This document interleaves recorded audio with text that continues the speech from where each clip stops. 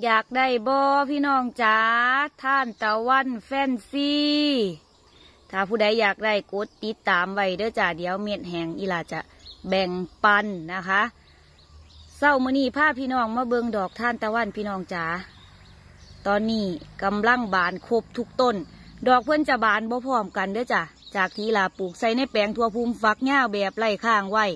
ถ้าผู้ใดติดตามไว้ก็จะรู้ว่าตั้งแต่เริ่มปลูกเป็นจังได จนมาหอดมือนี้เริ่มบานเริ่มออกดอกแล้วจ้า มีทั้งสีเหลือง สีส้มแล้วก็ออกสีแดงๆพี่น้องจ๋าตอนนี้คือว่า แสงแดดยังว่าท่านได้ออก เพิ่นกะ สีว่าท่านได้เปลี่ยนเปันใด signature ของสวนเลยพี่น้องจ๋าป้าดแนมไปสุดลูกหูลูกตา เป็นตาสะอ่อนในกล่องอาจจะภาพบ่สวยเปันใดแต่ว่าคือมองด้วยตาเปล่านี่อู้สุดยอดมากเลยพี่น้องจ๋า บ่ว่าจะเป็นเหลืองเค็มบ่ว่าจะเป็นสีออกขาวบ่ว่าจะเป็นเหลืองทองล้วนแล้วแต่หลากสีพี่น้องจ๋าหนึ่งต้นมีมากกว่าหนึ่งดอก เบ้ยสดชื่นขนาดบรรยากาศตอนเศร้าๆมักที่สุดก็คือสีนี่พี่น้องจ๋าไม่เหลือง ไม่แดง ออกท้องท้องๆสุ่มๆสวยงามตะการตา เบ้ยพูนะพี่น้องจ๋า เบิ่งแล้ว สดชื่นสายตามาก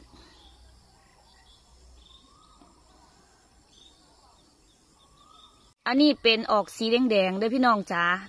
ถามว่าดอกใหญ่บอกระตามที่เห็นเลยหนึ่งฝ่ามือได้พี่น้อง ใหญ่นะคะงาม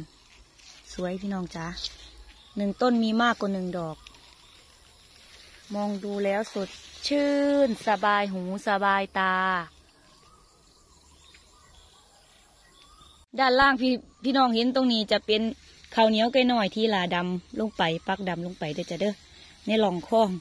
สากต้นทั่วกันยังย่างๆพี่น้องจ๋าสากต้นทั่วกันยังย่างๆอยู่ เพราะว่าอีหลาปลูกแซมต้นทั่วขึ้นไป ตอนที่ต้นทั่วยัง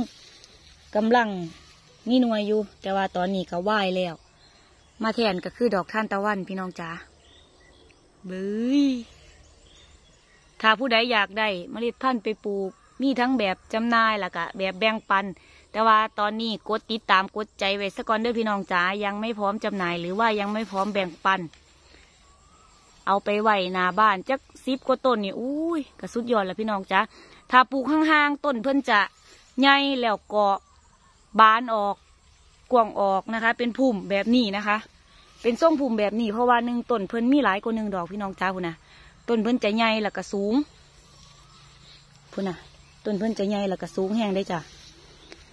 มีสิบต้นนาบ้านนี่โอ้ย เป็นจุดเช็คอินได้เลยสำหรับเสาร์นี้พาพี่น้องมาชม บรรยากาศ ตอนเสาร์เพียงแค่นี้จ้า